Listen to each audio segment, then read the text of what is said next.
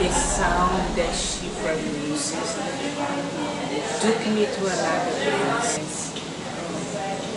And I didn't want to to come out of the experience. I just want to stay there forever.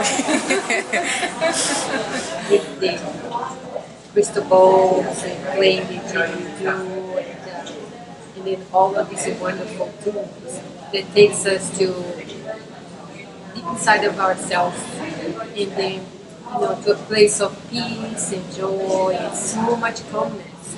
I was gone. Emotions, you know, emotions of stuff coming up, thoughts, memories and I just went ahead and cried. And I realized that forgiveness is the key, as you say, it's not easy to forgive, it is a challenge.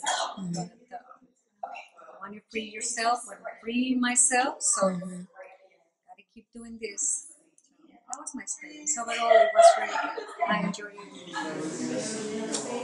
I was able to get into a very meditative space with the sound. It was a very, um, I've done Om chanting before that's a lot more um, robust. And so this was very, very peaceful and very, um, for me it was a much deeper experience of the sound because it was so peaceful and um, beautiful the way Jean led that.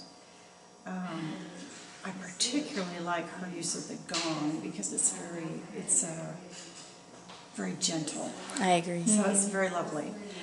And um, I really could feel the power of the didgeridoo moving through my body at the end there. So that was a lovely, that was a lovely touch. But um, overall, very peaceful and very healing experience for me. Yeah, I'm me very too. glad she did that.